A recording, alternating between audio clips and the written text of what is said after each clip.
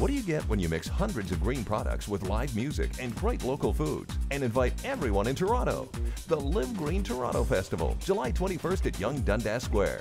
This free event includes over 100 vendors, local food, and live performances on the 104.5 Chum FM main stage by Faber Drive, Fefe Dobson, Platinum Blonde, and many more. Check out the website and watch City News for highlights. Get your green on at the Live Green Toronto Festival, proudly sponsored by City TV.